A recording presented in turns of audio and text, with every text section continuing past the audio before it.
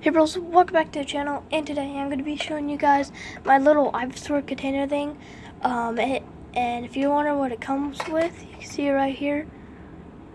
It says it right there. Two Pokemon booster packs, one uh, coin and an art little um, cardboard art thing. So yeah that's really cool. Um, I like the bin uh, I, am not gonna throw this away, but I just want to show you guys. I was too excited, so I opened it. I didn't get anything good, but I still really like this. So here's the coin here. It's really nice. It's an Ivysaur. First when I looked at it, I didn't know. I think it's an Ivysaur. I'm not sure. Um, and I don't collect Pokemon much, so you know that. Um, I'll show you the cards that I got here. We have, and I can't name all of them, so. Let me try to turn on the light a little better. There we go. Alright, so hopefully this will work. Alright. So I'm gonna move these down real quick and I'll be back. Alright, I moved down a little. Alright. So we have a Wigglypuff I don't know that one, but it is. I'm trying to name all the ones. That one. Hard to name these.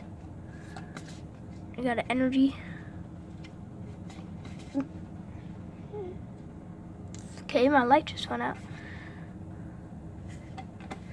Yeah, charge.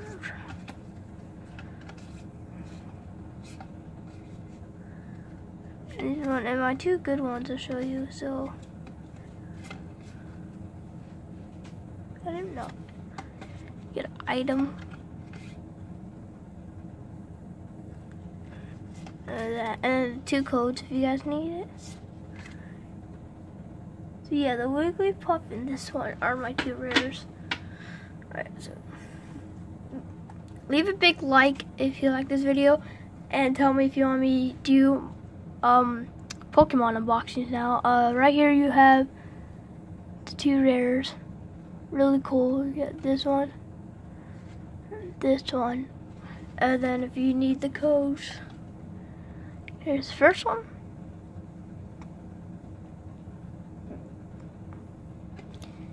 Just pause the video if you need that, and then here's the second, oh, second one. No, I got dang it got upside down. I got there.